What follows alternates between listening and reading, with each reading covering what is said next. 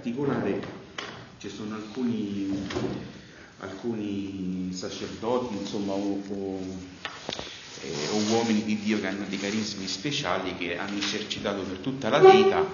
I frutti sono stati da quello che diciamo sembra buono, in particolare c'è il padre Dardiffe che adesso hanno aperto anche la causa di, di santificazione. Vivo ancora c'è questo padre Roberto De Grandis che comunque da quello che ho potuto sapere e vedere i frutti sono buoni. Sei sicuro che è vivo? Da quello che sapevo io era vivo, sì. Poi non so se... Certo dovrebbe avere una bella età, grazie pure del mondo.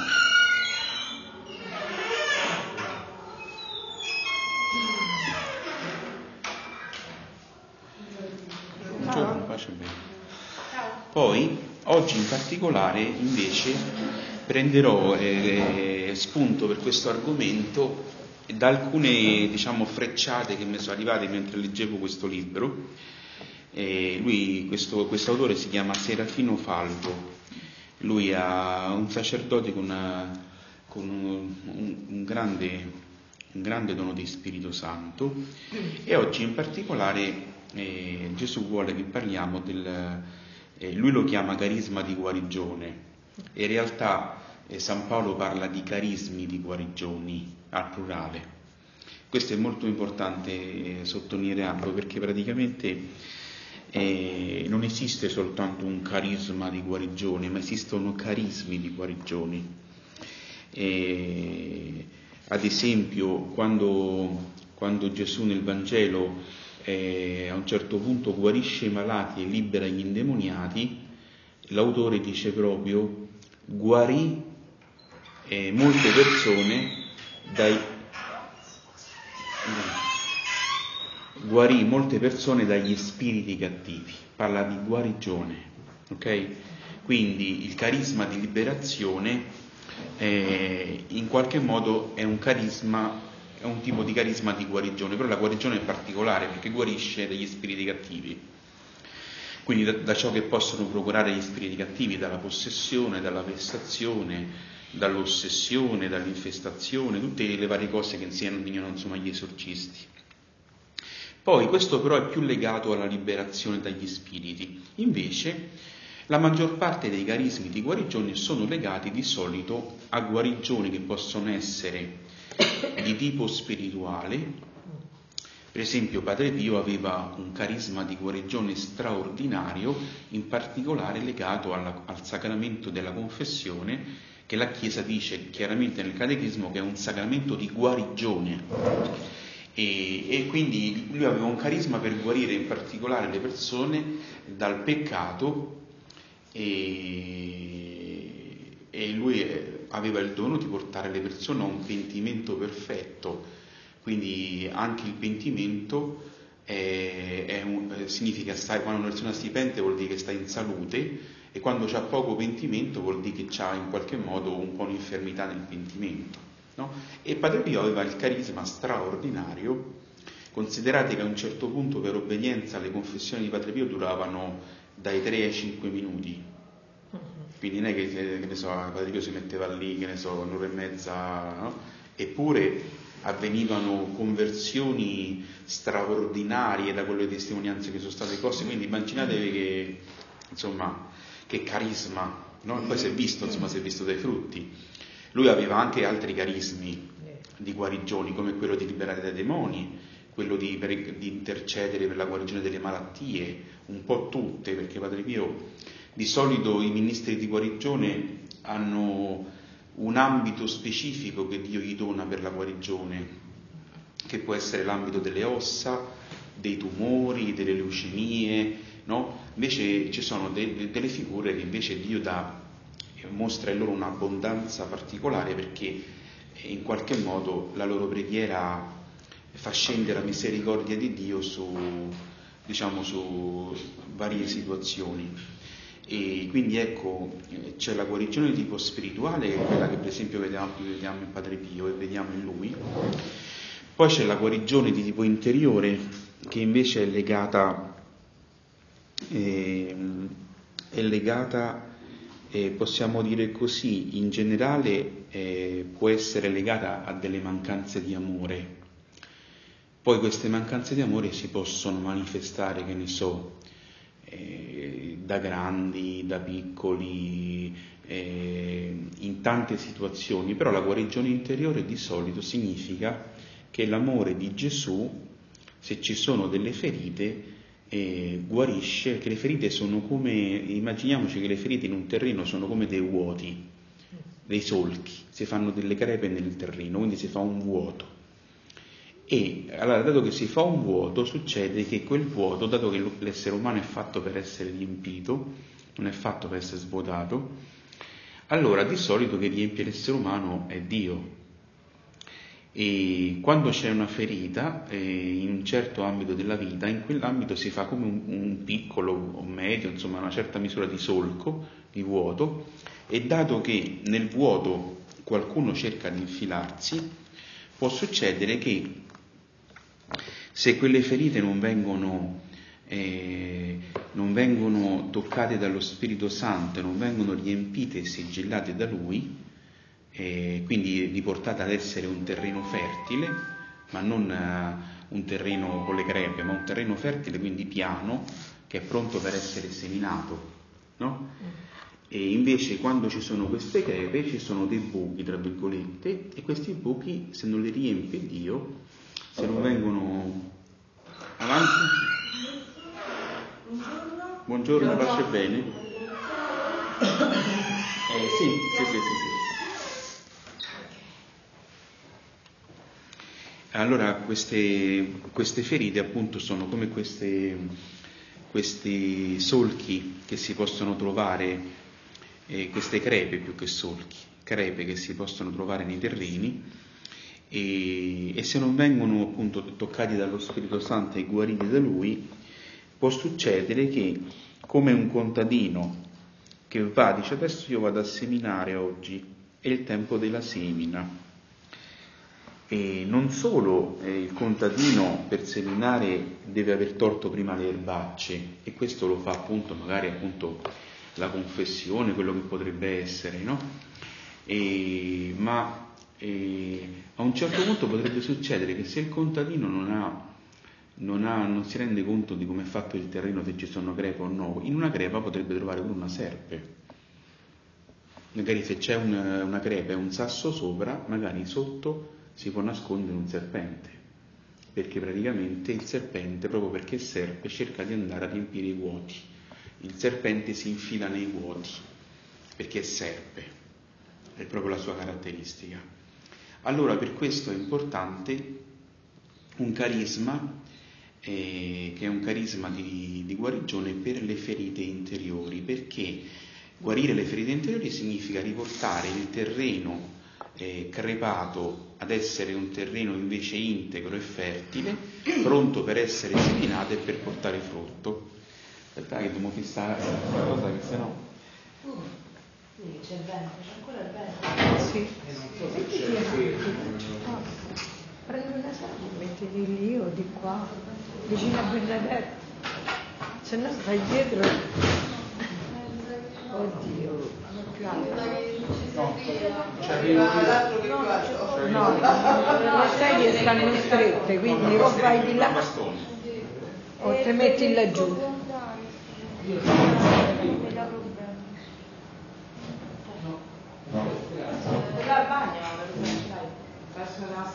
No, guarda se ci sta incastrato.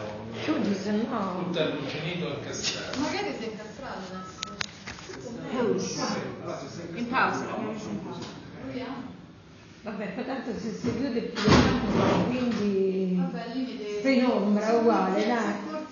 Un altro tipo di guarigione è quella dalle, dalle ferite, quindi guari, la guarigione chiamata guarigione interiore, e naturalmente quando si parla di guarigioni eh, eh, si intende che Dio può guarire sia, eh, sia, direttamente attraverso una preghiera, ma può guarire anche attraverso la mediazione di, per esempio, di medici.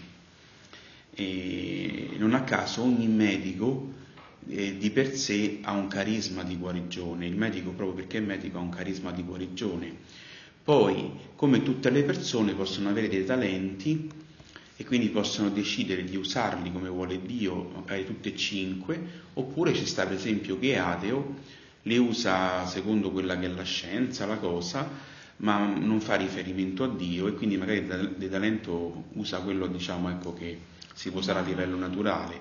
Però di solito ogni medico ha un'autorità che gli dà Dio, proprio perché è medico, per, per esempio per fare delle diagnosi e dare delle terapie. E quello è un esercizio che, è legittimo che gli dà Dio, no? sempre secondo le regole morali delle, di Dio, insomma della Chiesa, perché Dio la medicina l'ha data per fare bene all'uomo, non per manipolarlo, quindi sempre secondo gli insegnamenti di Cristo.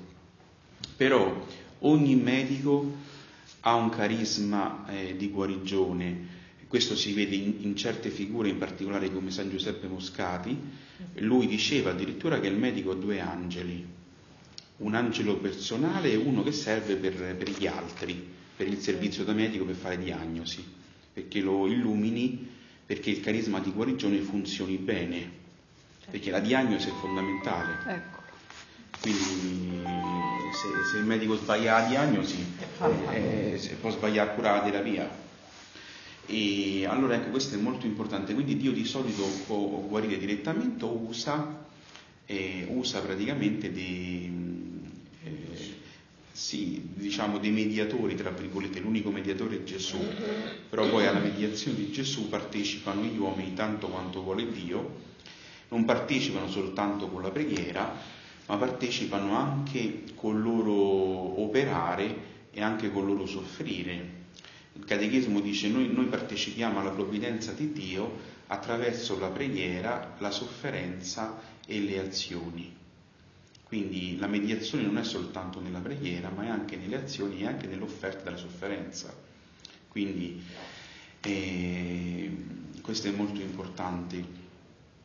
E, un, un, canale di guarigione, per esempio, eh, vi faccio un esempio molto importante, questo è per quanto riguarda la guarigione interiore. Poi esiste la guarigione mh, di tipo invece fisico, e, e, questo praticamente è un carisma uguale, sempre di guarigione particolare, proprio perché il frutto è che sana il capolavoro di Dio. Perché se noi ci pensiamo bene, l'importanza del corpo, il corpo è, è quello che Dio ha fatto nell'ultimo giorno della creazione, ha fatto le piante, ha fatto animali, ma niente è importante tra le cose create come il corpo. Dopo l'anima dopo l'anima che Dio ha dato, che è la cosa più importante, il corpo dell'essere umano è il, tempio, è il corpo che è chiamato ad essere tempio dello Spirito Santo. I corpi degli animali non sono chiamati ad essere tempio dello Spirito Santo, non vengono unti, non vengono battezzati, eh, sono rispettabili come creature di Dio, ma c'è una bella differenza fra essere creature di Dio o figli di Dio. C'è una bella differenza. Allora il corpo è molto importante, è il capolavoro di Dio che è uscito nell'ultimo giorno dalle sue mani direttamente, è lui che ha creato l'essere umano, anima e corpo e che eh, crea. E, quindi è molto importante, tutto ciò che è legato alla, alla sfera del corpo è importante perché la medicina in particolare si occupa di questo. Però il Signore non ha dato soltanto la via medica, ma ha dato anche l'autorità eh, spirituale che è data anche ai medici nel loro ambito. Ogni medico ha un'autorità spirituale, infatti se, se, per esempio io vado da un medico ed un medico coscienzioso bravo e mi dice di fare delle cose, io posso credere che è Dio che mi dice di farle, perché ha l'autorità per farlo. Quindi questo è, è molto importante, no? e, e quindi insomma non a caso, non a caso il Signore eh, benedice, benedice anche la scienza medica e tutto ciò che è fatto secondo la sua nota per il, bene dell'essere umano. No? Però il Signore ha dato anche una, un'autorità che è sempre l'autorità di Cristo, che è partecipata ai medici, ma viene partecipata per esempio in maniera speciale nel Vangelo agli Apostoli. Allora, quando si dà il mandato apostolico nel Vangelo, si dice proprio chiaramente che Gesù li chiamò a sé, diede loro potere sugli spiriti immondi e il potere di guarire tutte le malattie. Questa è una cosa, è il mandato di Cristo. Il Padre ha mandato Gesù a evangelizzare, a far conoscere e amare appunto il Figlio e il Padre, perché si abbia la vita eterna. Infatti si dice questa è la vita eterna, conoscere il Padre e quello che il Padre ha mandato. Questa è la vita eterna.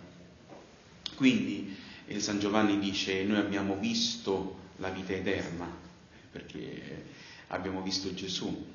E allora ecco, eh, l'autorità di Cristo, a un certo punto Gesù dirà mi è stato dato ogni potere in cielo e sulla terra. Allora, questo potere Gesù lo partecipa in maniera diversa, secondo le chiamate, secondo le vocazioni, ma lo partecipa a tutti. E, e gli apostoli in particolare hanno, un, hanno proprio per chiamata, hanno questa missione, hanno la missione di eh, evangelizzare, di cacciare i demoni e di guarire i malati, imporranno le mani ai malati e questi guariranno. Questo significa che ogni vescovo, l'apostolo in particolare sono i vescovi, certo il Papa per eccellenza, e poi i vescovi di per sé sono gli apostoli e sono i successori degli apostoli. Allora, qua bisognerebbe pregare Qui bisognerebbe pregare perché veramente ogni vescovo potesse veramente non solo eh, credere in quello che ha ricevuto, perché sicuramente lo sa che è un vescovo, ma lo potesse esercitare. Perché io eh, ragionavo stamattina, io eh, vescovi che pregano per guarire i malati, io li ho visti per esempio il venerdì santo quando si fa la grande supplica e si chiede che il mondo sia liberato dalle malattie, dalla fame e dai flagelli. E ho visto vescovi che lo fanno durante la messa, per carità ci mancherebbe altro, ma vescovi che veramente sviluppano un ministero di guarigione, che è la E allora Gesù dal Padre ha ricevuto quella missione. Poi questa missione Gesù dice io salgo al cielo e mando voi. Ma questa missione ce l'hanno in particolare i vescovi, cioè ogni vescovo da quello che dice la Sacra Scrittura, ha un'autorità tale da parte di Gesù che ha un potere per la guarigione dei malati e per la liberazione degli indemoniati. Non a caso il vescovo solo per, perché il vescovo è esorcista, non è che ce lo deve fare qualcuno, è lui, tant'è vero che i mandati agli esorcisti dal vescovo. Certo. Lui è esorcista per ordinazioni vescovili, quindi è così, no? E poi c'ha, però c'è anche il potere di guarigione. Cioè, io da quello che mi risulta al mondo vescovi che praticano un ministero di guarigione, diciamo completo, in parte lo fanno come vi ho detto, ma completo che veramente impongono le mani, fanno preghiere di guarigione sulle persone o vanno negli ospedali a pregare. Io sinceramente ne conosco soltanto alcuni e questo secondo me è una, è una perdita enorme sempre con massimo rispetto per i vescovi, però è veramente una perdita enorme eh, perché eh, cioè, eh, io penso che tantissime persone guarirebbero dopo la preghiera degli apostoli, dei vescovi, perché lo dice il Vangelo, non è che lo dico io. Quando Gesù manda e dice proprio, dopo in qualunque casa entriate, guarite i malati che ci si trovano. Certo. Non dice soltanto visitateli, dice guariteli. Ok.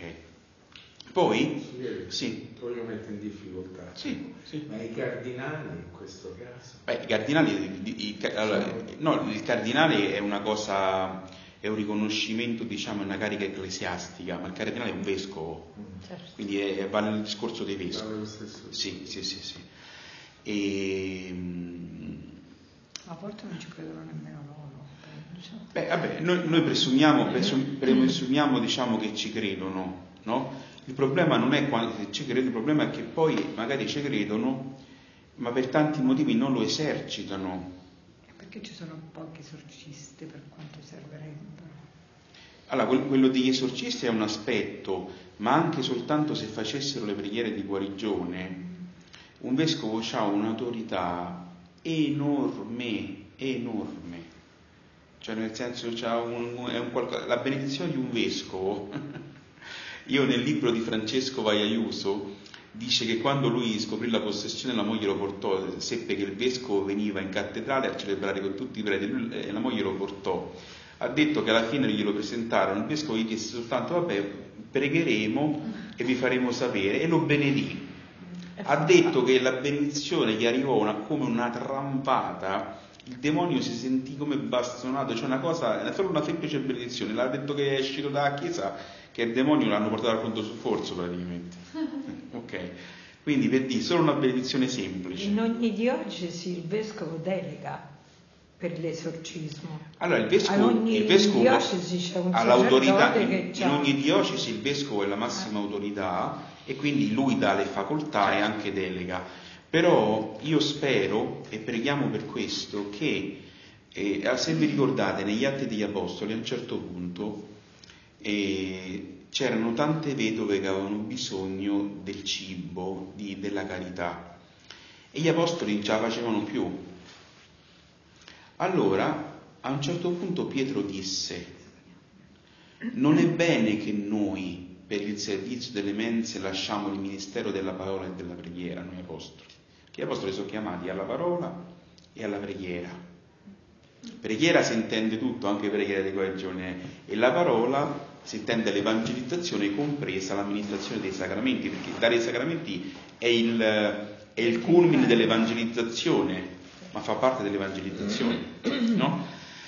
Allora, e infatti elessero sette persone di buona reputazione e li fecero diaconi e loro andavano a portare appunto eh, le mense, il servizio delle mense facevano. Allora, eh, il vescovo, questo vale per i vescovi, questo vale anche per i sacerdoti, perché poi il sacerdote in maniera, eh, perché voi sapete no, che eh, l'ordine, l'ordine sacro c'è sta vescovo, sacerdote e diacono. Allora il vescovo ha il carisma apostolico in pienezza, il sacerdote ce l'ha sempre sottoposto al vescovo in grado subordinato, però è apostolico allo stesso modo, quindi ha la stessa chiamata. Quindi eh, preghiera, parola, caccia demoni e guarì.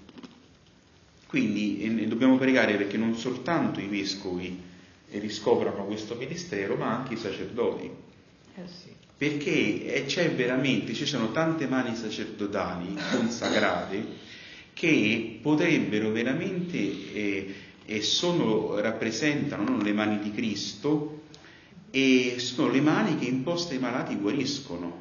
Solo che eh, eh, bisogna, sapete, per esercitare un carisma bisogna volerlo. Questa cosa che vi dico oggi è una cosa che insegna la Chiesa, ma non è una scemenza. Quando il Papa parla ex cattedra, cioè che vuole dire una cosa in maniera definitiva come infallibile, deve voler esercitare questo carisma che ha.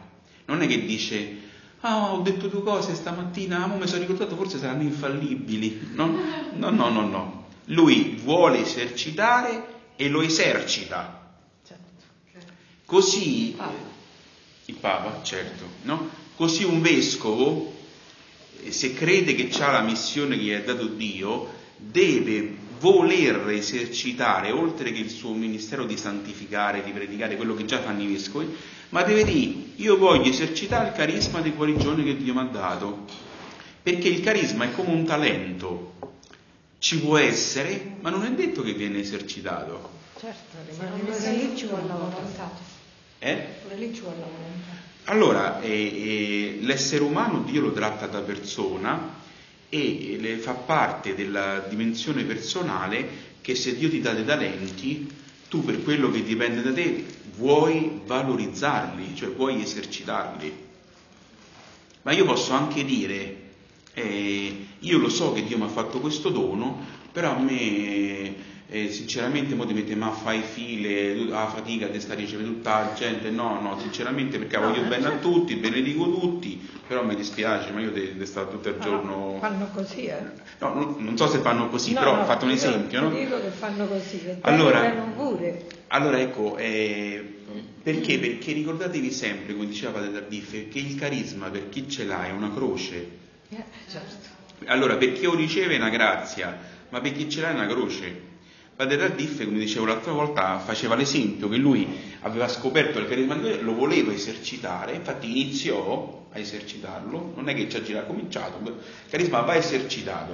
Poi lo Spirito Santo ti insegna come farlo sempre più perfettamente tutto, però la prima cosa che vuole lo Spirito Santo è ti ho dato il carisma, ti ho dato un talento, io, io spero che tu voglia esercitarlo perché io il talento te l'ho dato per metterlo a frutto. Nemmeno qui lo No. No, no, Dio non impone niente, a parte i comandamenti, eh, i comandamenti che si sanno, ma Dio di solito ordinariamente eh, eh, lascia, lascia l'uso delle cose alla responsabilità, come dice, è affidato la creazione all'essere umano, gli dice quello che deve fare, ma poi lascia la cosa alla libertà della persona, però Dio lo dice quello che si deve fare, non è che fa un gnorri che dice chissà, chissà che deve fare a qua cosa, no, no, no, dice chiaramente praticamente quello che si deve fare, no? E quindi, e poi, però l'essere umano può essere, eh, vi faccio un esempio, il sacerdote ha il dono di celebrare la messa, di consacrare. Ma io posso tranquillamente, io ho conosciuto dei sacerdoti che mi hanno detto chiaramente che loro celebravano domenica, in altri giorni no. Non c'è l'obbligo della, della messa quotidiana? No, non c'è l'obbligo, perché l'obbligo c'è per il breviario, ma per la messa è lasciata praticamente al sacerdote. No? La cosa, la la cosa più che Eh, un per- sacerdote ha Perché praticamente eh, la Chiesa, eh, nel breviario, nelle preghiere della Chiesa, ha dato al sacerdote una fonte di grazia e di protezione che può fare sempre. Basta averci il breviario e poi, puoi leggere da qualunque parte. La Santa Messa richiede qualche cosa in più anche per essere celebrata, no? Magari tu non, non hai appresso il pane e il vino quando stai, che ne so, però c'è il breviario e poi, eh, la- diciamo, è sempre la preghiera che assicura la protezione della Chiesa, la comunione con la Chiesa, la potenza della Chiesa e che tu sia ministro della Chiesa. Poi la Chiesa non è che dice non ti preoccupare, messa nati, no, no, Certo, consiglia perché- fortemente di dirla sempre perché appunto è come dice il concilio è fonte e culmine di tutte le grazie. Però io ho fatto esempio per farvi capire che se un sacerdote gli è lasciata la libertà per assurdo a parte la domenica che è comandata la messa no? Certo. ma per altri giorni è lasciata alla sua carità no? per dire quanto- eh, che cosa Dio mette in mano agli esseri umani, cioè eh, è come un medico, il medico può avere delle conoscenze e delle competenze importantissime, ma come accade in certe nazioni si può arrivare al punto che eh, se una persona ha quelle malattie però non ha i soldi per pagare, la persona si muore. Cioè non è che si scherza, eppure il talento ce l'ha il medico, però si, può arrivare al punto di dire, eh lo so, c'è questo, mi dispiace tanto, però a me i 5.000 euro non li puoi cacciare e a me mi dispiace, io, io l'operazione non te la faccio. E renderanno conto a Dio, credo. E e io credo, Eh, credo penso di sì, sì. però è quello diciamo Però- per, per- no, è quello diciamo per far capire che ogni essere umano, ma questo vale anche per una madre, Certo. La madre Questo, scusi, per il sacerdote è come pure una madre, tutte, scusa, mi occupo solo la domenica della famiglia. No, anche per, facevo proprio questo esempio, allora, eh, anche, il eh, culmine per un sacerdote. eh, certo, Celebrare la messa, certo, e come per una madre, no? La madre ha un dono specialissimo di maternità, ma la madre può anche decidere che eh, fa il sufficiente per i figli, ma lei non vuole rinunciare a alcune cose della sua vita, quindi quando serve i figli, se serve, li lascia pure magari con altri o, o, mm, speriamo che li lascia pure soli. E praticamente eh, perché uno può decidere come essere madre, Certo, certo. non è che eh, c'è sta lo stampino che uno, tutti quanti agiscono come Robocop, no? Nel senso c'è la libertà. Naturalmente Dio chiede che si faccia bene la madre, il sacerdote e tutto, non è che dice, eh, però questo per far capire che quanto è importante ricevere un'autorità da Dio, autorità intesa come dono fatto dallo Spirito Santo, quindi è che è il potere dello Spirito Santo che viene partecipato agli esseri umani, ma il potere è dello Spirito Santo. Lui lo partecipa agli esseri umani e in particolare nei carismi di guarigione eh, lo partecipa a tutte le figure, eh, ma in particolare ci sono delle figure che avrebbero proprio un carisma speciale per gli altri, come il vescovo, il sacerdote, no? E allora, e oggi, eh, seguendo un po' qua Don Serafino, perché veramente ci sono delle cose che, che sono veramente interessanti, e lui dice, ehm, affronta questa cosa qui, comincia a parlare del carisma delle guarigioni, imporranno le mani su malati e questi saranno guariti, e poi eh, lui comincia a affrontare in maniera semplice ma chiarissima tutti i vari aspetti. Lui dice, sono stato per tanti, anni, per tanti anni parroco e ho visitato centinaia di ammalati, ma non ho mai avuto la presunzione di poterli guarire con l'imposizione delle mie mani. Sentite? La presunzione. E invece in realtà è il mandato che, eh, che riceve il sacerdote, ma proprio riceve, c'è scritto nel... No? Avevo letto tante volte queste parole, ma non avevo mai potuto lontanamente immaginare che potessero riguardare anche me. No? Quando entrai nel rinnovamento carismatico e mi si disse che entro quei gruppi di preghiera avvenivano delle continue guarigioni, ancora non me ne facevo convinto. Ma poi cominciai a vedere coi miei occhi e non potei più negare l'evidenza. Incoraggiato da quel che facevano gli altri, osai, osai anch'io imporre le mani su una giovane signora affetta da leucemia. I medici le avevano dato non più di due mesi di vita mi confessò che mentre pregavo su di lei sentì come un fuoco in tutta la persona e come un elettroshock che la scuotesse da, da capo a piedi. La sera stessa si sentì meglio, pochi giorni dopo i medici la dichiaranno completamente guarita. Ora è sana e vegeta e si gode le gioie della famiglia. Oggi, a distanza di tre anni, io posso dire di aver visto tanti e tanti altri casi simili che non fanno altro che confermarmi sempre più quanto Gesù sia fedele alle sue promesse.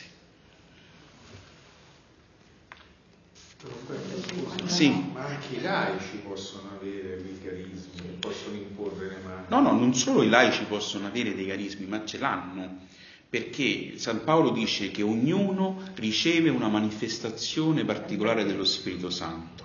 Allora, quegli esempi che ho fatto io sono di persone che ci hanno proprio per ministero, ma ogni persona può ricevere un carisma di, di guarigione, lo Spirito Santo soffia dove vuole.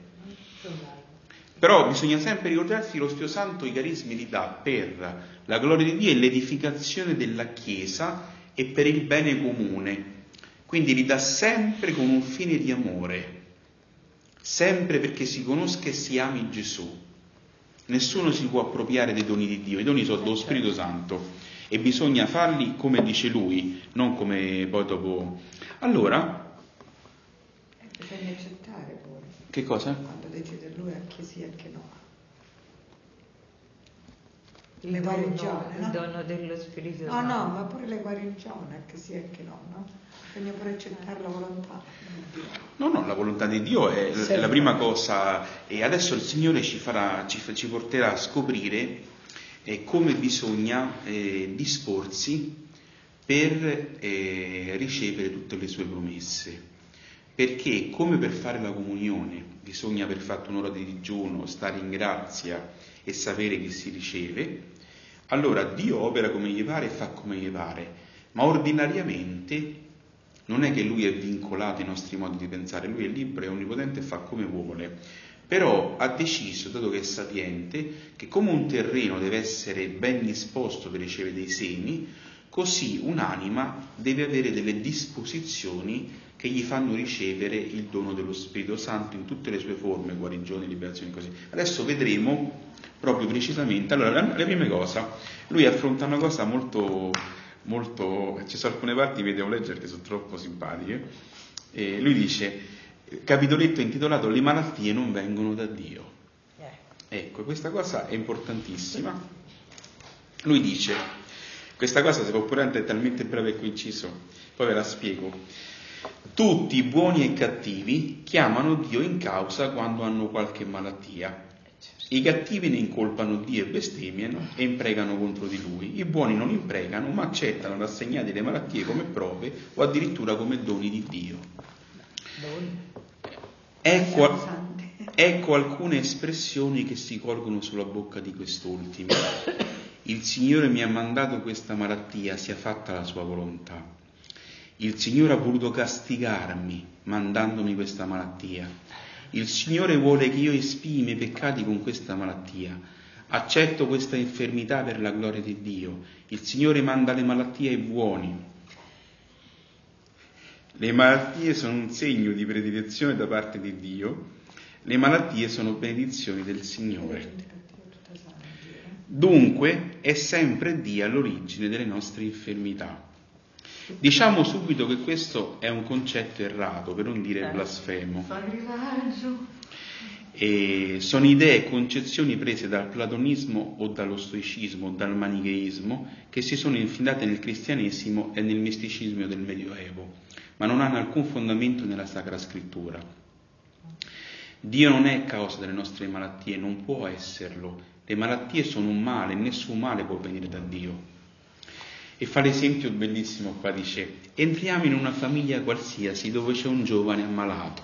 Tutti, padre, madre, fratelli, sorelle sono afflitti e addolorati e Dio solo dovrebbe essere contento. Però Santa Teresina del Bambino Gesù è che che il Signore gli manda queste... Adesso arriviamo anche a questo. Aspetta. Entriamo in un ospedale, medici e infermieri si fanno a pezzi per alleviare i dolori dei pazienti e solo il Signore dovrebbe godere per quelle sofferenze. Il nostro corpo è il, è il capolavoro uscito dalle mani di Dio nell'ultimo giorno della creazione e come potrebbe Dio rallegrarsi a vederlo distruggere? Questo è molto importante. eh. Cioè, prima è come l'artista che fa un quadro meraviglioso, poi dice, mo spacco tutto. Don Roberto, alla fine è il Signore sempre che permette, no? Che, che Sì. accadono poi le cose. Cioè io mi sono arrivata arriva non distruggermi completamente, ho detto il male non è dato, però il Signore permette. No, no, ma tanto adesso arriviamo Eh, aspetta. eh, queste cose, partiamo da questo per arrivare a, a affrontare, diciamo, poi le varie cose, no? Dio è padre che ama i suoi figli d'un amore infinito. E come può un padre così buono essere felice nel mandare i figli all'ospedale o quando li vede straziati sul letto di dolore? Questo è forte, dice, è, è come contento di mandare all'ospedale. Non c'è un solo passo della scrittura da cui si possa provare che le malattie vengono da Dio. C'è anzi il contrario. Nel Vecchio Testamento non si può ancora trovare bene sviluppato il concetto di Dio come Padre, ma predomina l'idea di Dio, il Dio della legge, che premia e castiga. Ora, l'osservanza della legge viene premiata con delle promesse di una vita sana e longeva, mentre le malattie vengono considerate come tristi effetti dell'infedeltà alla legge. Ecco qualche esempio.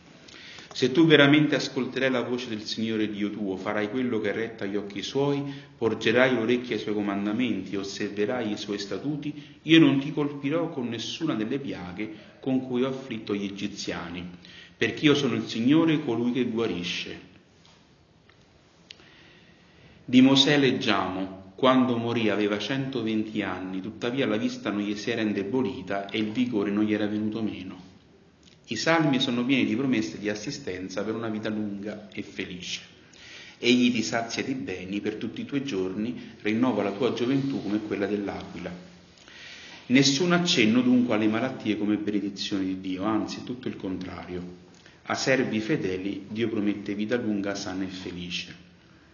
Questi sono, sono praticamente l'Antico Testamento.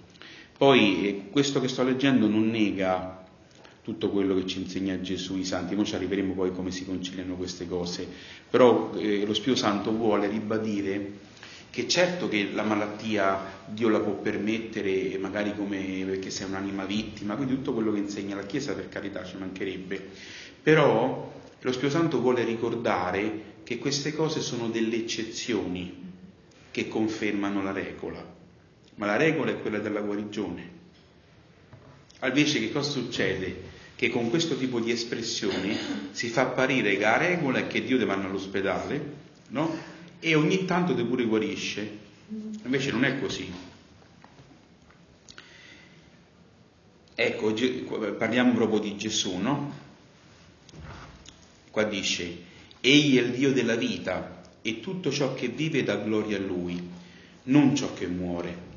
Egli preferisce i sacrifici di lode più di quelli di bestie sgozzate. In Isaia fa già capolino l'amore di Dio come padre. Può forse una mamma dimenticare il suo figlioletto, non avere compassione del frutto del suo seno? Ma anche se essa lo dimenticasse, io non potrò dimenticarmi di te. Gesù sarà ancora più esplicito. E qual è quell'uomo fra voi che darà una pietra a suo figlio che gli chiede un pane? O se chiede un pesce gli darà una serpe? Se dunque voi che siete cattivi sapete dare cose buone ai vostri figli, quanto più il Padre vostro celeste concederà cose buone a coloro che gliele chiedono. E tra queste cose buone non può non esserci la sanità fisica. Il Padre dà soltanto cose buone ai figli, ma le infermità non sono cose buone. Anche quelli che in teoria le chiamano benedizioni di Dio, in teoria, in pratica poi corrono dai medici e prendono medicine per eliminarle. Così facendo non si mettono contro la volontà di Dio e non lottano per togliersi di dosso le sue benedizioni. Questo è vero. Io, ah, questa sofferenza è un dono di Dio, allora se è un dono perché poi te la voleva? Scusa, dietela, no? No, però dal medico ce vai. E allora vuol dire che c'è qualcosa là, o, o te voleva le benedizioni di Dio, no? Oppure vuol dire che abbiamo capito male che, che, Dio è padre, ma non è padre dando le tramvate. Non si può concepire un padre, qua Don Serafino è, è molto, però io eh, lui l'ho conosciuto, è un uomo di Dio, è morto santamente, eh, quindi per questo ne parlo, perché la morte è stata buona, quindi non è uno che alla fine è nato la tangenziale. Ecco. Non si può concepire un padre che può fare i figli felici e non lo vuole. Ogni padre è veramente felice quando i figli sono felici con lui. Questa è la cosa vera. Cioè, ma eh, a me che Dio mi, mi, mi dice tutte, te voglio tanto bene, eh, ma poi felice ci sono solo io. allora c'è qualcosa di strano, no? Perché io sono venuto perché abbiano la vita e l'abbiano in abbondanza. E proprio c'è solo te la vita, perché gli altri sono tutti, tutti all'ospedale, stanno, cioè, allora, perché, eh, come allora c'è qualcosa che abbiamo capito male noi, non è che Dio è cattivo, ci mancherebbe. Dio brama di darci una felicità piena, completa, perfetta, più di quanto lo bramiamo noi stessi. E ora dobbiamo fare quest'altra parte perché è di un'importanza che le so. 45 e però dobbiamo fare, poi se me lo dite se siete stanchi, però è, è troppo, è, è, è, di è, di un'importanza, guardate. Alle 11 e mezza devo andare eh, no, no, a 11 e mezza non finiamo. Perfetto. Le malattie provengono dal peccato e dal demonio. Ecco. Qua è molto importante questa, questo passaggio. Le malattie sono per sé un male e quindi come ogni male possono avere origine solo dalla fragilità e mancavolezze dell'uomo oppure dall'azione di colui che è il maligno per eccellenza, Satana. Tutti i mali vennero come conseguenza del peccato originale. Questa è una cosa di fede, eh? questo lo insegna la Chiesa. La Chiesa insegna che tutti i mali, compresa la morte, il peccato la malattia, sono scaturiti per invidia del demonio che ha fatto peccare la Medeva, quindi dal peccato originale. Prima non c'erano. Un'altra cosa che aggiungo a Don Serafino, Don Serafino dice, pure quelli che dicono che le malattie sono una benedizione poi vanno dal medico, io la dico, ne dico una in più. Ben... Allora, eh, San Paolo dice, noi abbiamo ricevuto tutte le benedizioni del cielo. No, quindi in cielo ci sono tutte le benedizioni. Allora, se la malattia fosse una benedizione, starebbe pure in cielo. Ma non mi risulta che chi va in cielo si ammala. Anzi, sono sani in cielo. Quindi la malattia non è una benedizione. Perché se no entrerebbe, entrerebbe in paradiso. Gesù ci è entrato con le piaghe in paradiso, ma con le piaghe gloriose, non quelle degli odi, cioè quelle che gli sanguinavano ancora, ma quelle gloriose. Ci è entrato con la guarigione in paradiso, con la risurrezione. Quindi tutte le malattie? Adesso, adesso ne, ne, parliamo proprio per spiegare bene come insegna la Chiesa, perché eh, bisogna avere, come diceva Padre, il giusto equilibrio fra il valore della guarigione e il valore della sofferenza offerta. Però in questo momento mi sembra che si conosca più il valore della sofferenza offerta, ma si è quasi perso di vista il fatto che Dio ha fatto un capolavoro dando il corpo all'uomo e quel capolavoro Dio non vuole che si distrugga, tant'è vero che la Chiesa condanna chi uccide i bambini dal concepimento, se l'anziano è tutto quanto distrutto e dice che va rispettato fino alla fine, pure se c'è un corpo tutto piegato, poi no, invece gli altri devono stare tutti malati, tutti... Eh no, ma non può essere come cosa, no? C'è qualcosa che non, non è Dio che dice questo, no? E L'uomo, per dono gratuito di Dio, non avrebbe dovuto conoscere le infermità, i dolori e la morte. Vabbè, fu a causa della prima colpa, questo l'abbiamo detto, a causa del, peric- del peccato originale vennero tutti mali. Qua si dice una cosa importantissima, ma che è vera, lo insegna la Chiesa questo, eh? Quindi anche quando diciamo che le malattie avvengono per cause naturali, l'origine ultima è sempre il, peccato originale e, quindi indirettamente Satana. Questo è importante? Che, perché la medicina, i medici sono carismi di guarigione? Perché in realtà stanno, Gesù attraverso loro sta a vincere Satana che ha dato la malattia. Per questo il medico bisogna, il Siraci dice prima di andare dal medico prega per lui, offri sacrifici di spiazione perché Dio lo illumina e attraverso lui vince Satana, vince quello che Satana ha fatto col peccato originale eh, facendo scaturire le malattie e la morte. Quanti medici nella vita hanno vinto tantissime volte Satana, hanno guarito malattie, salvato persone dalla morte, qua al pronto soccorso arrivano persone, le operano e si salvano la vita. Quel medico è stato strumento di Dio e ha vinto le conseguenze del peccato originale, Cristo ha vinto attraverso il medico. Poi quando Dio decide che la persona va in paradiso è la vittoria definitiva perché si ammala più tutto quanto, però ordinariamente Dio vince pure su sta terra. Anche se il medico, scusa, anche se il medico non è un credente. Allora, il collaboratore di Padre Pio Sanguinetti mm. era ateo. Eh, lo so. E quando lei gli disse, ma io non credo in Dio, e lui gli rispose, ma Dio crede in te. Eh no? Allora, se un medico è coscienzioso ed è una persona onesta, poi se non crede ci possono essere motivi, a volte non hanno neanche insegnato, però se è una persona veramente onesta, che non fa per sordi, fa ma fa il medico, guardate, ognuno deve, fa, deve, stare nel ruolo che Dio gli ha dato. Certo. Allora, se, se, il medico fa il medico bene, è uno strumento di Dio. Di Dio, certo, indipendentemente. E ci sta poco da fare. Poi se, lo, poi se lo fa cristianamente ancora è ancora meglio. E San José Maria diceva L'evangelizzazione del medico è la competenza. Cioè un medico evangelizza se è competente, perché io posso andare da un medico che c'è rosario in mano, prega, eh, ma poi non è competente, ma ammazza, ma ammazza, magari ammazza il figlio, capito? No, volevo dire, nei casi di malasanità o dei medici ammazzano oppure uno va lì per una cosa e ne esce con una cosa peggiore. Allora, io qua dico una cosa importante. Una volta che abbiamo scoperto questa importanza dei carismi, considerate questo ospedale non so quanti medici ha, ma ognuno ha un carisma di guarigione. È una cosa proprio così. Allora, immaginatevi Satana come vuole che invece che Cristo affermi la vittoria attraverso la medicina, vuole invece vincere lui, Satana. E allora cerca di distrarre i medici, di farli sbagliare e così via. Ecco perché bisogna pregare per i medici prima di andare da loro. Perché devo eh, pregare perché Signore fa che sia per me uno strumento di Dio, perché può essere anche strumento di quell'altro. Ma questo capita anche nei confessori. San, San, Vincenzo De Paoli diceva che il confessore troppo duro diventa uno strumento del demonio perché la, praticamente è talmente duro che praticamente alla fine praticamente la gente invece di eh, d'accoglierlo, eh, la via, la via diventa strumento di quell'altra, allontanare le persone da Dio invece di avvicinarle. No? Quindi certo. questo è molto importante perché l'autorità se, se, la usi bene è una benedizione, ma se la usi male è una trambata. Eh. Certo. Allora?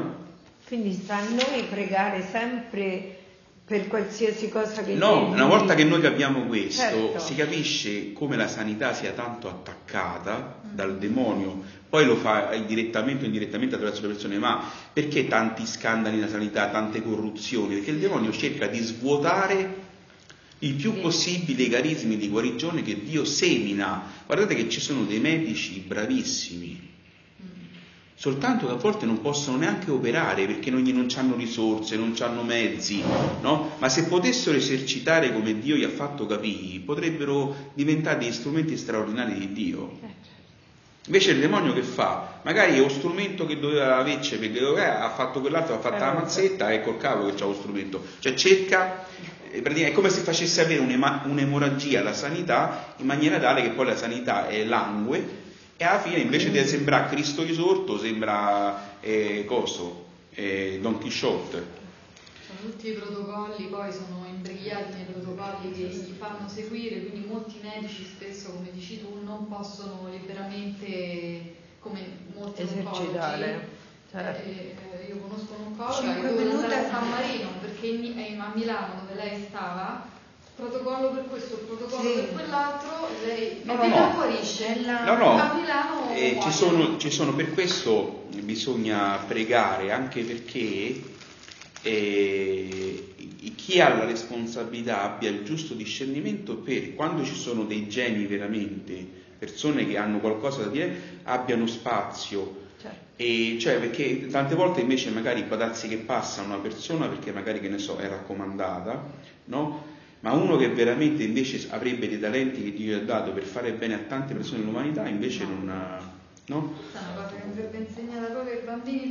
Eh, ma per questo la stiamo insegnando, perché no, praticamente certo. eh, il primo compito del sacerdote e del vescovo è quello che si deve dedicare alla parola alla preghiera, ma la parola significa far conoscere, amare il Vangelo, le verità contenute nel Vangelo, perché è la verità che fa liberi. Eh la verità fa liberi prima delle preghiere, la verità fa liberi. No, perché se uno fin da bambino impara anche perché a dire la preghierina prima che vada al medico, eh, certo, già certo. imparato per È come la preghierina prima di partire con la macchina. Sì, sì, no? ecco. Sembra una scemenza, ma ah, tu chiedi la protezione, Dio ti protegge, non è una scemenza. Sono tutti i medici con Io in oncologia ho visto la disumanità.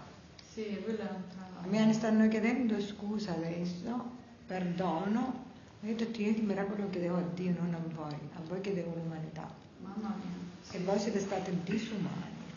Eh, devi spiegare più quelli adesso. Sai quante persone abbiamo come sua figlia? Ho detto ma non mi importa, in quel momento ero io, mia figlia, la, la mia tragedia era a casa mia. Io volevo solo umanità da parte vostra. Dobbiamo veramente pregare. Cinque minuti a vista, cinque minuti, non ti guardano neanche in faccia la disumanità proprio nell'ambito dell'oncologia lui, se il medico non, è, non, lo fa per passione, per carità, per no, vocazione, se lo fa solo per soldi, ecco, ma comunque 300 euro. L'oncologia è ma vi faccio, vi faccio un esempio, no? Vi faccio un esempio di, di, medico che lo faceva perché era medico, San Giuseppe Moscati, ah, quando lui a casa sua, lui era ricco, aveva la casa, i quadri, no? era un nobile in qualche modo, sì. quando riceveva le persone che venivano dal sud, da tante parti, che erano povere, spesso lui diceva che la guarigione era che gli dava i soldi e se andavano a fare la spesa per mangiare. Certo. E lui si vendeva anche i quadri per dargli i soldi a Guido. Quindi lui era medico perché capiva che Dio gli aveva dato il dono di essere strumento per dare la vita e la vita in abbondanza. E per far quello si vendeva pure i quadri, perché un quadro è meno importante del corpo di una persona. Eh, certo. Questo è importante, no? Non, c- non, c'è cosa creata che è più importante del corpo umano. Ma a parte il corpo? Infatti, infatti eh, succede che eh, sì, la cosa dopo l'anima è la cosa più importante appunto l'umanità è quella di un sorriso da un ammalato, di, un, di una pacca sulla spalla, un, capito? Perché non è solo sì, l'amore, l'amore, di Dio, l'amore di Dio passa per tante cose, anche compresi i sorrisi anche e tutto. perché voglio dire, certo. la mia amica professoressa ha detto noi studiamo, nel resto nelle mani di Dio. Un altro professore che ho per me ha detto io sono solo all'allungamento della mano di Dio. Cioè non, non, non ho fatto niente. Eh, esatto. Allora, e vi leggo quest'altra cosa perché è molto bello in modo tale che alla fine abbiamo fatto tutto. Qua dice alcune malattie sono causate da peccati personali. Ecco, questo è molto importante. E, e, nella guarigione è importante l'autorità di è Dio, è colui che guarisce sempre, guarisce attraverso i medici, guarisce attraverso le medicine, guarisce attraverso i carismi, ma guarisce anche attraverso il cambiare vita. Per esempio, eh, io leggevo questo psichiatra che diceva una cosa molto, molto interessante, diceva eh, una persona può fare una giusta diagnosi il medico, gli può dare le giuste terapie, ma se ad esempio vive in un luogo e dove praticamente è inquinato, sarà responsabilità di quella persona il medico è tenuto a dargli le medicine, Dio a dargli aiuto, ma lui è tenuto a cercare di cambiare luogo. Certo. Perché se io ti, ti do le medicine e guarisci in ospedale, poi torni nello stesso ambiente che ha generato la malattia, eh, famo come quello, te ne vai in montagna, respiri e poi torni indietro e te ripigli il tumore ai polmoni. Quindi, quindi bisogna, a volte Dio chiede anche di cambiare, lui per esempio fa l'esempio, lui riceveva, lui, lui e la moglie ricevevano in casa delle persone in via terapeutica di guarigione e lui gli dava un programma di vita, anche spaccare la legna, tutto quanto, perché diceva che anche l'esercizio fisico, un medico, uno psichiatra, Kenneth McCall si chiama, no? E lui diceva perché anche l'esercizio fisico in certe malattie è fondamentale. Certo. Cioè, se la persona non lo fa, eh, quella è una terapia, cioè non è che si scherza. Cioè, eh, quindi in parte eh, c'è, eh, c'è, il medico, in parte c'è la terapia, ma in parte c'è pure la libertà della persona che deve voler guarire e deve mettere in pratica quello che serve, perché eh, poi un po' di che il medico non ci ha capito niente. Quindi è molto importante. Allora, alcuni possono essere dovuti a, a peccati personali. Non vogliamo dire che a ogni peccato personale corrisponde una malattia o che la gravità della malattia sia in proporzione diretta alla gravità dei peccati commessi dall'ammalato. Però è fuori di dubbio che talune malattie sono effetti di vizi e disordini morali. Ad esempio, chi non conosce i tristi effetti delle malattie venere, della droga, del fumo, degli eccessi del mangiare e del bere, anche qui la causa remota è sempre il demonio, in quanto queste aberrazioni non sono che frutti velenosi e mortiferi del peccato originale. Perché l'uomo ha la tendenza al male? È una conseguenza del peccato originale. Però adesso ha, in maniera speciale dopo Cristo, anche la grazia per resistere alle tendenze al male e vincerle. Quindi non è abbandonato al male. Anche a mangiare? Eh? Anche a mangiare tanto? Su tutto, su tutto. Eh, di per sé, di per sé eh, man- mangiare in maniera disordinata o bere in maniera disordinata è una cosa che a lungo andare può portare malattie. Considera che la maggior parte degli infarti e delle malattie che ci stanno, eh, ma non, non, per, non, solo perché si mangia male, magari perché mangi troppo, mangi cose sbagliate, ma a volte anche perché il mangiare che compri non è genuino come dovrebbe essere. Eh, certo. Eh Basta vedere il pane a volte, il pane a volte sembra che da quello che ho visto in televisione ha, ha delle cose che se uno pensa che va a comprare pane perfettamente buono invece eh, a volte non è così. Io ho sentito anche che viene importato da altre nazioni. Sì, sì, ci sono tante tante cose, no? Però ecco, quindi ognuno nel suo ruolo deve prendersi le sue responsabilità per fare quello che vuole Dio. Anche Gesù qualche volta mise in correlazione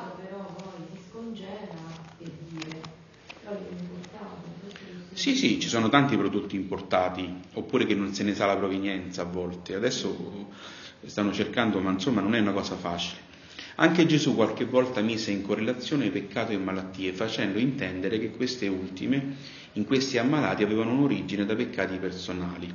Al paralitico che gli calarono dinanzi al soffitto della stanza in cui si trovava, dal soffitto della stanza in cui si trovava, Gesù come prima cosa disse ti sono rimessi i tuoi peccati a un altro, accanto alla piscina di Bezzada, dopo avergli restituita la salute, fece questa raccomandazione. Ora che sei guarito, attenta a non peccare più, affinché non ti accada qualcosa di peggio. Ecco, in questo caso, per esempio, perché Gesù dice così? Personalmente non credo che, che era una malattia naturale, credo, credo, che era diabolica. Infatti, se vi ricordate, Gesù dice quando un demonio esce, se poi rientra, rientra con sette peggiori. Allora io penso che questa malattia aveva un'origine diabolica e quindi era molto legata anche al peccato, che significava che se un demonio è andato via e tu lo fai rientrare poi col tuo comportamento, poi te ne trovi sette, quindi peggio di prima la malattia. Altrimenti se era una cosa naturale ti tornava la malattia come prima. Certo, invece... Invece qua dice attaccata a peggio di prima, no? E poi qua dice anche chi mangia e beve indegnamente il corpo del Signore mangia e beve la propria condanna, non discernendo il corpo del Signore. Perciò tra voi molti sono ammalati e infermi e molti altri sono morti. Questo pure è importante, no? Per questo dico le disposizioni con cui si riceve, per esempio, la comunione, cioè l'ora di digiuno, stare in grazia e, e sapere, discernere che il corpo del Signore, tu stai ricevendo il corpo del Signore, non è che stai ricevendo una gomma americana. Certo. Ecco, a queste cose servono per ricevere bene il corpo del Signore, che è il corpo di Cristo risorto, affinché sia in te resurrezione, guarigione e tutto. No? Vabbè, qua dice altre malattie sono conseguenza di peccati altrui. E chi può negare ad esempio le tare ereditarie? Chi non è convinto come certi vizi e disordini morali dei genitori si ripercuotono sulla salute dei figli per più generazioni ma anche al di fuori delle inesorabili leggi dell'ereditarietà, dobbiamo tenere presente che formiamo tutti un corpo sociale e quindi il bene come il male, che è in un solo membro, non può non, influ- non, può non influenzare il resto del corpo. Beh, io non sono un medico, però per esempio è una cosa da quello che ho potuto vedere è accertata che ci sono certe famiglie dove sembra che certi grappoli di malattie sono più frequenti. Per esempio conosco delle persone che, dove per esempio è terribilmente presente l'Alzheimer. Invece altri hanno una capoccia che a cent'anni ancora fanno i conti matematici, no? Però quando si parla di tumori è una cosa, quattro persone, tutte magari morte, tutte dei tumori, no? Allora, eh, adesso lo studio della scienza sta spesso eh, arrivando anche a, a guarire ciò poi, che no? eh, sono cose che avvengono a livello genetico. Genetico perché c'è, c'è, genetico credo che significhi che c'è una predisposizione. Poi non è che è matematico, però è una predisposizione, per questo l'alimentazione, se uno eh, non è diventato così perché stava sempre, che ne so, ambriacarsi, se lui rinuncia magari a ambriacarsi, magari non si ammala come il nonno. Allora, sentite questo paragrafo e poi finiamo perché questa è veramente musica, bellissimo. Allora, Dio ci libera dalle malattie. La promessa del Salvatore Gesù dopo il peccato originale è una promessa di liberazione di tutte le, con- le conseguenze provocate da quel peccato. A tutti i problemi nati da quella fatale caduta, Dio Padre risponde con l'incarnazione del Verbo di Gesù. L'Apostolo Giovanni dice, il Figlio di Dio è venuto per debellare le opere del diavolo. Ecco, qua partiamo. Se il Figlio di Dio è venuto per debellare le opere del diavolo, visto che la malattia e la morte sono un'opera del diavolo per il peccato originale, anche la malattia e la morte Dio le vuole debellare perché sono opere del diavolo. Questo è che qua proprio non c'è stata, non si uscire da questa interpretazione perché è, è chiaro, lo insegna la Chiesa, che eh, la malattia e la morte non sono venute... Viene debellata anche attraverso la preghiera, no? È debellata attraverso la preghiera, i medici, tutto quello che Dio ha insegnato. Ora, dal momento che queste opere si manifestano nell'anima dell'uomo col peccato, e nel corpo con le infermità, ne segue che il Padre mandò il Figlio a liberare tutto l'uomo e non parte di esso dal dominio di Satana. Il demonio doveva avere una sconfitta completa come aveva avuto prima una vittoria completa. Cioè il, demonio è riuscito a far cadere Adamo ed Eva, a far entrare la morte, il peccato e le malattie e Cristo se doveva vincere, doveva vincere tutto quello che doveva, aveva fatto il demonio, non soltanto le cose dell'anima. E qua questo passo è veramente meraviglioso, finiamo con questo. Egli venne, Gesù venne per operare una nuova creazione, dove non ci sarebbe stato più posto per nessuna opera di Satana. Venne per liberarci da tutte le nostre infermità, da quelle spirituali, prendendo su di sé i nostri peccati, da quelle fisiche, caricando, da quelle fisiche caricandosi delle nostre malattie la frase precisa è sentite, egli si è addossato i nostri dolori e si è caricato le nostre infermità. Allora, sentite che meraviglia, questo è, questo è, questo è il decreto che Gesù ha firmato della liberazione, sentite? Se prendendo il peccato su di lui Gesù lo ha tolto da noi, perché se, se da noi è nato su di lui, si è tolto da noi, no? Io se, se, io faccio un peccato mortale e mi vado a confessare, dato che Gesù ha preso su di sé i peccati, il peccato va su di lui e da me si leva. Semplice. Poi Gesù che cosa fa? Dato che sulla croce prende tutti i peccati, poi Gesù muore, morendo lui muore pure il peccato, Gesù però risorge e il peccato invece è morto. Certo, non è che risorge. Perché risorge Dio e chi sta con Dio, ma il peccato non sta con Dio. Scusa la interrompo, però il fatto della, della pena che poi rimane...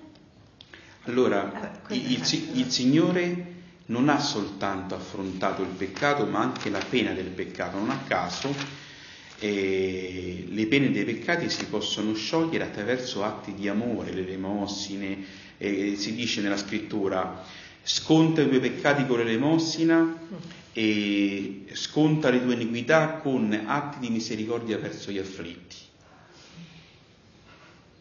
Poi... Eh? No, come? No, come? Si acquisisce La carità di Cristo che opera in te ti fa meritare, la sua carità ti fa meritare anche lo scioglimento delle pene. Infatti esiste l'indulgenza plenaria che significa la remissione di tutte le pene. Quando un cappellano viene chiamato al letto di un morente, se, se, ci sono le condizioni, il cappellano può dare in articulus mortis l'indulgenza plenaria a questa persona. Certo, certo sì, sì. perché No, dice proprio, no, no, c'è, c'è, proprio la preghiera. In virtù della facoltà datami della sede apostolica ti concedo l'indulgenza plenaria e la remissione di tutti i peccati, nel nome del Padre, del Figlio e dello Spirito Santo. Ma certi sacerdoti... No, no, no, no, no, no, no, no. Allora, l'unzione degli infermi, eh, i, diciamo, i parenti sono sempre tenuti a chiederla per chi sta in, in pericolo praticamente di morte, ma l'unzione degli infermi si può chiedere per qualunque malattia seria dice il rituale dell'unzione degli infermi, la dice malattia seria, non grave, seria. E quello per guarire, ma quando c'è il momento del passaggio, ogni sacerdote ha la facoltà di dare l'indulgenza penale alla risoluzione di tutto qua, proprio perché No, la facoltà significa il potere di farlo. Sì, no, non, non, è che facol- no, no, non è facoltativa, eh. si, deve, si, deve, dare, sì, sì, sì, si deve dare, perché la cosa importante è l'unzione dei fermi, la comunione, però l'indulgenza eh, va data perché è una carità enorme verso la persona. Cioè quello significa che se la persona dovesse andare in purgatorio, se tu gli dai l'indulgenza non ce va, mica si scherza, qua si scherza. E questa, questa è l'autorità, l'autorità di guarigione di Cristo che è partecipata ai vescovi e ai sacerdoti, ma è Cristo che fa questo attraverso i sacerdoti. È l'autorità di Cristo partecipata, ma l'autorità è di Gesù. Allora, sentite che meraviglia. Allora, se, se, se il peccato va su Gesù e si eleva da me, questo vale anche per le malattie, perché si dice si è caricato delle nostre malattie. Allora, Signore Gesù, ma se tu ti sei caricato da una malattia mia, come sta in me? No? Perché prima di tutto bisogna saperlo e crederci. Allora io scherzando l'altro giorno, quando ho letto questa cosa, ho detto sarebbe interessante dialogare con la malattia e dire proprio, eh, San Francesco la chiamava sora morte, sora malattia, no? Digli proprio, eh, cara sora, sora malattia, no? Che... Ma forse, forse nessuno, ti ha, nessuno ti ha evangelizzato e te l'ha detto perché non sei un essere umano, che le cose te le dovremo dire, no? Allora io ti volevo annunciare che tu non ci puoi stare in me, perché Gesù si è caricato delle mie malattie, quindi adesso te ne vai, nel nome di Gesù te ne vai, vai su Gesù e lui ti distrugge nella sua morte come è avvenuto già, perché Gesù ha detto sulla croce tutto è compiuto. Tutto è compiuto significa tutto, eh, redenzione dei peccati, delle pene, di tutto. Allora, questa sembra una scemenza, ma è la verità perché eh, Gesù la malattia della socia del piede la sgrida cioè gli dice proprio che stai a fare qua, vattene, perché io mi sono caricato delle malattie. Allora le malattie vanno sgridate, come ha fatto Gesù, l'esempio di Gesù, c'è scritto proprio parola sgridare, eh, eh, letteralmente, quindi è una cosa proprio vera, perché c'è un decreto, c'è una legge che è stata messa nello Stato di Gesù, che Gesù si è caricato Gesù ha, Gesù ha, preso i nostri dolori e si è caricato delle nostre malattie. Quindi se lui ha preso i dolori e si è caricato delle malattie non devono stare negli altri. Però questo bisogna saperlo, eh. bisogna crederlo e bisogna cominciarsi a comportare di conseguenza. No, adesso vi faccio per... per... Se anche le malattie degli altri, essendo un figlio e un nipote, può, può una chiedere di caricarli. No, no, no, eh, non, è che, no, no, no, non è che, no, no, Gesù si è caricato di tutte le malattie da, da Adamo fino all'ultimo uovo che esisterà. Io lo posso chiedere per me e per qualunque persona, perché nessuna malattia ha diritto di stare nei corpi delle persone, visto che se l'è preso Gesù. Poi dopo arriviamo a spiegare perché Dio può permettere che ci sono, eh, però questo è il decreto, allora, quando voi sapete che a livello civile eh, il Parlamento fa la legge, però finché non va sul gazzettino ufficiale non, non è ufficiale. Quindi finché non ci va, io pure se so la legge che mi è arrivata voce da legge, io se la trasgredisco non è mancanza contro la legge. Però una volta che è dichiarata la legge, basta. Tu diventi trasgressore. Allora, una volta che Gesù è morto in croce, ha fatto un patto, l'ha firmato col sangue e ha detto le malattie devono andare su di me e non sull'altro, io la mattina gli posso dire, guarda che o te ne vai o chiami i poliziotti, capito? I poliziotti sono il nome di Gesù, cioè tu, il nome di Gesù che dice adesso tu obbedisci alla parola di Dio che dice il decreto è uscito, la sua gazzetta ufficiale c'era e tu mo vai praticamente dove devi andare. Lo potevi prima però riservata al secondo Cioè, tumore. è quando continua a permettere l'eccezione. No, no, adesso andiamo a spiegare, no? Però questa, io vorrei che fosse importante che si capisce il decreto. Cioè, questo è il decreto. Il decreto È che è Gesù si è preso le malattie si è addossato i dolori, e vi dico pure il passo, eh. Il passo è ehm, allora, Isaia 53,4 si è addossato i nostri dolori, si è caricato delle nostre malattie, cioè questa è legge. Certo. Però voi sapete che un ladro se entra in casa, no? E tu a legge non gliela ricordi in vari modi, e il ladro ti dice, "Eh, finché non mi dichiari a legge, a me me lo fai io vi rubo, continua a rubare. E dato che il demonio è chiamato ladro e omicidia fin da principio, eh, bisogna con autorità ricordargli la legge. M- mentre i ladri di casa, se non c'è la polizia, non acchiappi, invece qua in ambito spirituale funziona, perché tu spiritualmente gli dici, cara sorella malattia, io ti, ti considero una sorella, però tu, eh, Gesù ha detto che devi andare, essere carica quindi adesso, cara sorella, Basta. vai nel, nome, nel nome di nel Gesù. nome di Gesù, Certo. nel nome, non nel nome mio, perché no, io non conto nulla, come gli Eh, disse certo. il demonio, come gli disse il demonio, ai- il demonio ai discepoli negli, negli atti di Apostoli, quando volevano cacciare i demoni, disse io conosco Paolo e conosco Gesù, ma poi mi conosco la conferite botte, Sì. perché non, non, non agivano nel nome di Gesù. Però quella frase che poi agisce un po' come la cucina cinese, eh, completo nella mia carne, com'è quello che manca la passione di Cristo, no? Che poi c'è l'accusatore che ti dice, eh però Gesù ha sofferto, devi soffrire pure te, cioè, capito? Allora, per, la allora no, la risposta è chiara. Allora, questa cosa qui, che è giusta, infatti prima dicevo l'equilibrio fra il valore della guarigione e delle sofferenze offerte per la salvezza, questa cosa qui ordinariamente si può accettare solo dopo che si è fatto tutto il percorso di guarigione. Mm. Allora vuol dire che la legge che è uscita sulla gazzetta per Gesù eh, c'è un'eccezione alla legge generale. La legge generale è quella, ma per quel comune c'è un'eccezione. Ma deve essere prima messa in pratica quella generale, poi ci sarà l'eccezione. Invece il problema è che il demonio ti fa credere Che l'eccezione è quella generale e allora tu manco vuoi, vuoi, vuoi, vuoi guarire perché dici mi sembra pure una mancanza. Infatti questo è lo stato generale Oh. del cristiano di oggi, che Sì. ha avuto questo indottrinamento. No, ma per questo, ma per questo scusate, ma guardate l'unzione degli infermi. L'unzione degli infermi era arrivata al punto che si dava solo in punto di morte. Certo, Poi il concilio, lo Spirito Santo ha detto rimettiamo le cose. Il principio generale è la guarigione. Certo, Poi, se è il momento di partecipare alla passione di Cristo per morire, benissimo, anche lì Dio ti aiuterà, ma quella è l'eccezione che conferma la regola. Ma non è che eh, sembra che è un peccato pecca- pregare per la guarigione, anche perché se io non ci credo, neanche lo voglio guarire, perché appunto non lo so che Dio vuole questo, quindi neanche lo voglio io. Certo. Che ore so? Scusi, posso dire un 18, 11, 18, quindi Ok. Posso? Sì, sì. Eh, eh, mm, cioè, cioè, praticamente eh, possono eh, scaturire e scatenare dal fatto che la natura è contaminata, no? Quindi noi dovremmo anche essere, che so, educati a rispettare la natura. Certo, infatti il Papa, nell'enciclica sull'ambiente, Sì.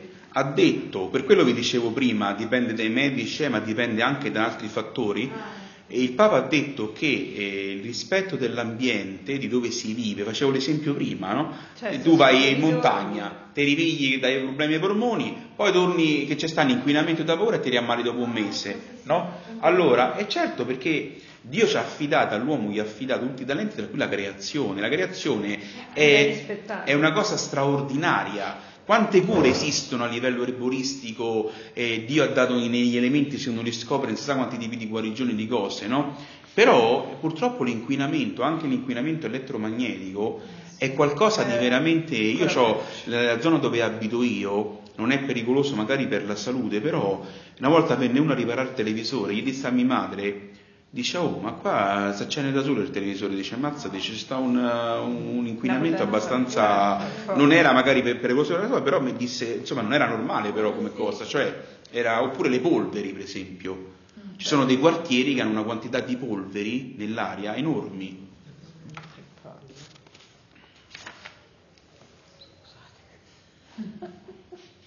Quindi il fatto quando non rispetta la natura ma è, è interpretato come un peccato? Allora, eh, esistono, anche peccati, esistono, anche i peccati, contro la creazione, eh. no? Perché eh, la creazione è fatta da Dio, quindi un conto che io uso la creazione come vuole Dio, ma se io in maniera eh, spropositata, in maniera sbagliata, me ne frego, mi metto a inquinare i fiumi, è eh, certo che diventa un peccato. Certo, certo può essere un peccato ma può essere pure grave. Dipende dal danno anche che faccio, da quello che può. Finiamo con questa cosa. Sì, come, eh, questo è l'esempio migliore di tutti. Come si comportò Gesù con gli ammalati. Ecco. Gesù è la verità, vediamo come si è comportato Gesù. Gesù anche a San Paolo gli ha detto ti basta la mia grazia, tiette la spina, ma è un'eccezione rispetto a tutte le altre volte che ha sempre guarito Gesù. Questa è la verità. La legge sulla gazzetta ufficiale è la guarigione, poi per certi comuni, per certi esseri umani eh, c'è un motivo di santità e allora c'è, la partecipazione, ma la partecipazione alle sofferenze in maniera speciale. Ordinariamente si partecipa alle sofferenze con la vita ordinaria, i doveri quotidiani, le cose che da ogni giorno Dio da affrontare. Poi partecipazioni speciali alla sofferenza sono delle chiamate speciali, ma sono speciali però come chiamate. Non è che ogni volta che uno sta male, è perché se tu non hai provato prima tutta la cosa della guarigione, la legge prima, non puoi dire che entra in vigore la legge quella speciale, ma se non hai messo in pratica manco quella generale. Allora il demonio fa, fa praticamente questa fregatura, fa credere che la legge speciale è quella generale. A nessuno di quelli che si rivolsero a lui per la guarigione Gesù disse accetta la tua malattia come una benedizione di Dio o come un segno di predilezione del Padre. Egli invece guarì tutti, considerando le loro infermità come mali da eliminare, come nemici da combattere. Non troviamo nel Vangelo che Gesù tentò di persuadere qualche ammalato a fare la volontà di Dio. È vero questo. Non disse ad alcun ammalato questa malattia devi tenerla per la gloria di Dio. Anzi, disse il contrario, che cioè il Padre sarebbe stato glorificato dalle guarigioni che egli avrebbe operato. Questa parte è una bomba, sentite perché è proprio letterale biblico. Eh? Dinanzi al cieco nato, agli apostoli che gli chiedono se è lui che ha peccato i suoi genitori, Gesù risponde, né lui né i suoi genitori hanno peccato, ma è così perché si manifestino in lui le opere di Dio. Bisogna che si compiano le opere di Dio finché è giorno. E qual è l'opera di Dio che compirà in questa persona? Sentite. Dunque, opere di Dio erano non la cecità di quel mendicante, ma la sua guarigione. Bisogna che è così perché si compiono in lui le opere di Dio e l'opera di Dio sarà la guarigione che Gesù darà. Le altre opere della malattia è opera del demonio, non è di Dio. Questo è biblico, eh? c'è una cosa pazzesca, questa proprio, la chiama proprio opera di Dio Gesù. Un altro esempio l'abbiamo nel paralico di Cafarno, il quale si mise a glorificare Dio non sul, non sul giaciglio, ah no, cosa devo rileggere?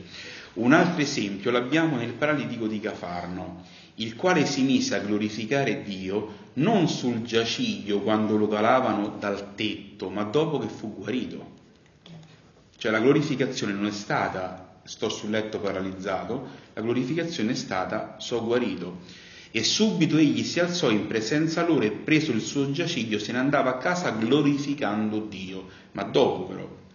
E con lui glorificavano Dio anche i testimoni del miracolo, tutti furono presi da grande stupore e glorificavano Dio ripieni di timore, esclamavano cose mirabili abbiamo vedute oggi.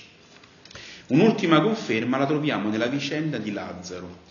Gesù, informato della malattia dell'amico, dice che quella malattia non era di morte, ma per la gloria di Dio, affinché ne venisse glorificato il figlio. La gloria di Dio non era dunque la malattia, come dice Gesù, ma quel che sarebbe accaduto dopo la malattia. Infatti alla sorella Marta ripete, non ti ho detto che se crederai vedrai la gloria di Dio? E qual è la gloria di Dio che ha visto quando ha creduto? La guarigione. Marta non aveva visto la gloria di Dio durante la malattia del fratello, ma l'avrebbe vista quando egli sarebbe uscito vivo dal sepolcro. Dunque non sono le malattie che danno gloria a Dio, non risulta nei Vangeli che Gesù abbia insegnato questo, sì.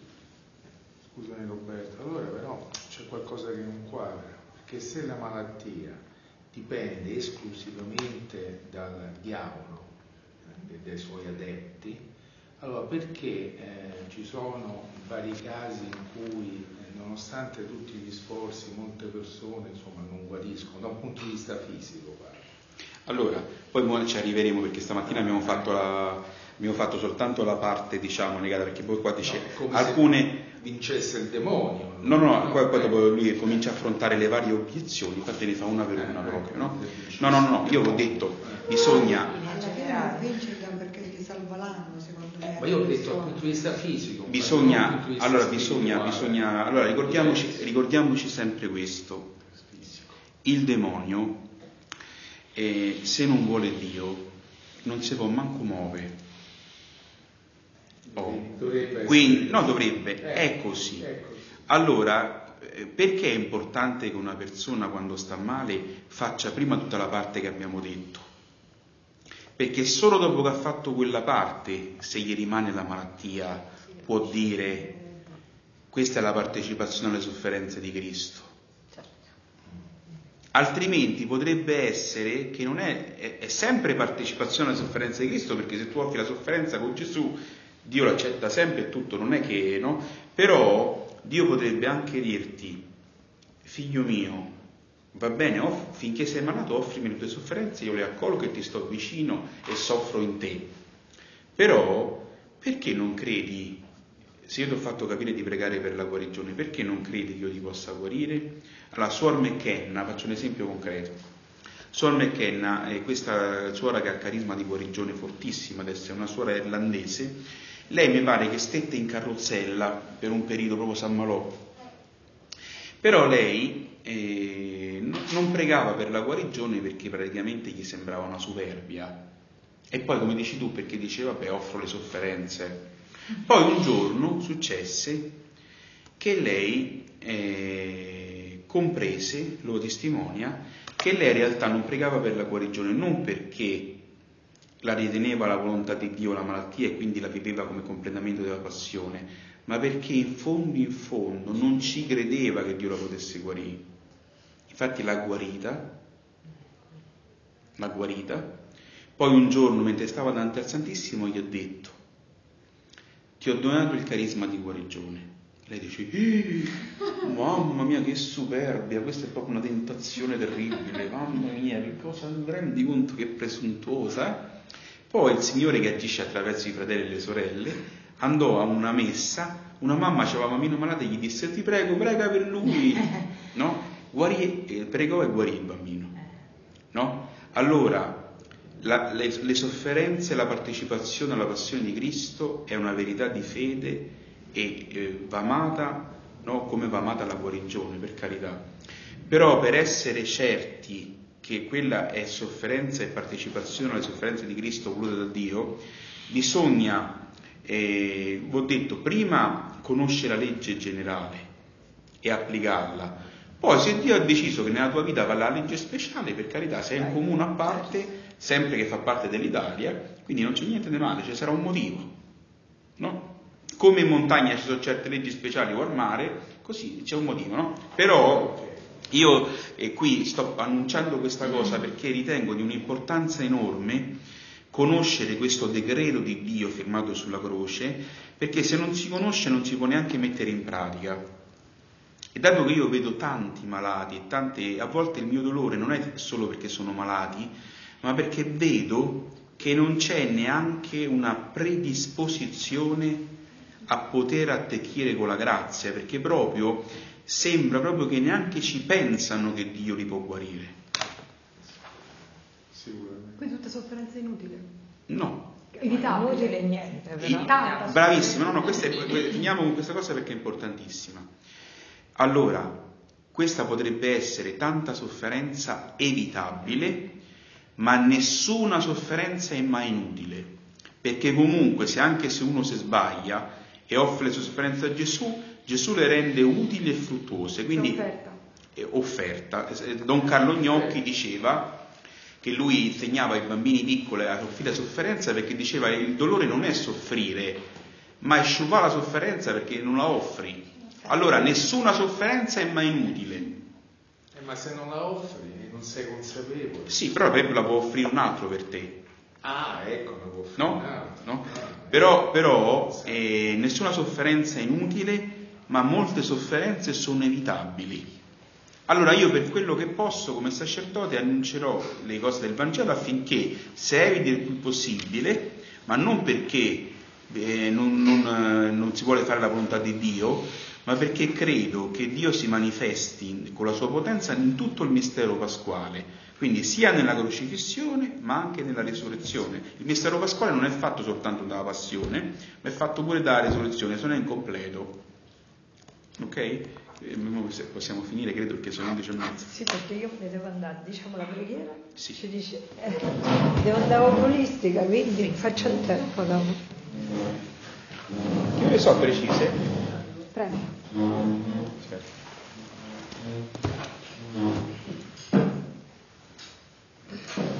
In nome del Padre, del Figlio e dello Spirito Santo. Amen. Spirito Santo, tu hai annunciato queste due verità, adesso ti chiedo la grazia che tu ce le faccia comprendere bene, ce le faccia sentire profondamente nell'anima e tu, attraverso il tuo amore, le confermi, le manifesti affinché si possa conoscere che Gesù è il Signore, si possa conoscere che nel suo nome ogni ginocchio si piega nei cieli, sulla terra e sottoterra, il ginocchio anche di ogni infermità e dolore, perché si possa conoscere che Gesù è il Signore e lui si possa esaltare.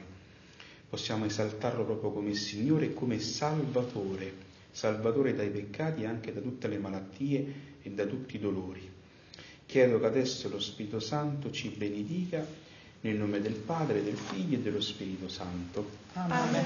Ok, pace, Grazie. bene. La prossima volta facciamo le varie obiezioni perché... Certo, Eh, guarda, vi dico soltanto questo, vedete che bella.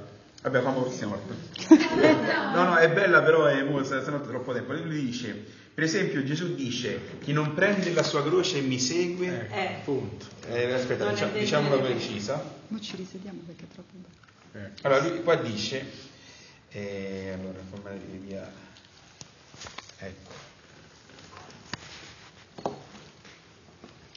Gesù dice, chi vuole venire dietro a me rinneghi se stesso, prenda la sua croce e mi segua. E lui dice una cosa molto bella. Se Gesù ci invita a prendere la croce, la considera come qualcosa esterno a noi. Che la malattia non è che se ce l'hai dentro il corpo, non è che la devi prendere, ce l'hai. Eh, Allora, se la devi prendere la croce, vuol dire che è qualcosa di esterno, quindi non è la malattia. Infatti lui dice, per croci qua si deve intendere le persecuzioni, incomprensioni, lotte, opposizioni, delusioni, amarezze, contrarietà, il peso dei doveri quotidiani, l'immolazione della vita, minuto per minuto sull'altare della volontà di Dio. La loro somma è la croce del vero discepolo. Gesù ci invita a prenderla, la considera cioè come qualcosa che non è in noi, ma viene dal di fuori, e a prenderla ogni giorno come qualcosa che non può mancare mai nei nostri continui rapporti con gli altri. Ma questo non si può dire delle malattie, perché la malattia a volte manca. Allora che vuol dire che boh, per di tempo non c'è la croce. Quindi non è così. Da sviluppare questa, Sì. sviluppare un pochino Sì, meglio. la prossima volta com- cominceremo da questa, da Eh, questa da questa cosa. sì. ok. Però è, è molto interessante.